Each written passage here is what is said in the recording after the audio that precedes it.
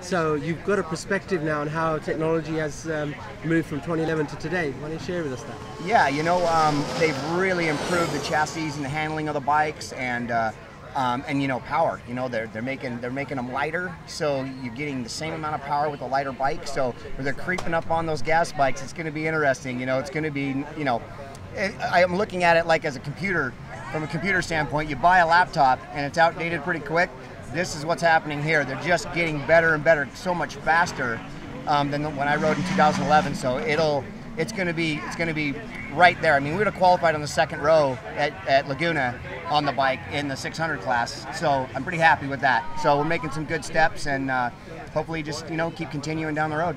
And as we wrap up, if you had to send a message out to your fellow riders, what would be your big takeaway for them? Uh, this is the future.